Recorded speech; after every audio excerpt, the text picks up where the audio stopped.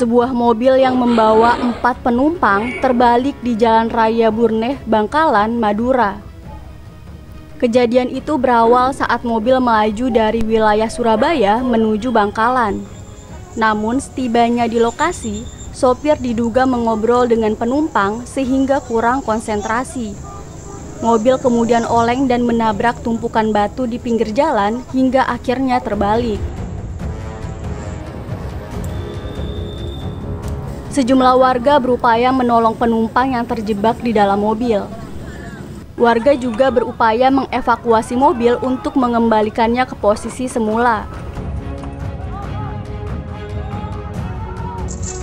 Beruntung, keempat penumpang selamat dalam kecelakaan tersebut. Mobil kemudian dievakuasi dan dibawa ke tepi jalan sebelum akhirnya diamankan ke Polres Bangkalan. Tunggal mobil Avanza itu dari arah Surabaya menuju wisata kuliner Sejai. Nah, dugaan kami kecelakaan ini karena kurang konsentrasinya pengemudi. Dia ngobrol dengan penumpang, akhirnya naik ke badan jalan, naik ke gundukan batu, akhirnya terbalik. Untuk jumlah eh, korban?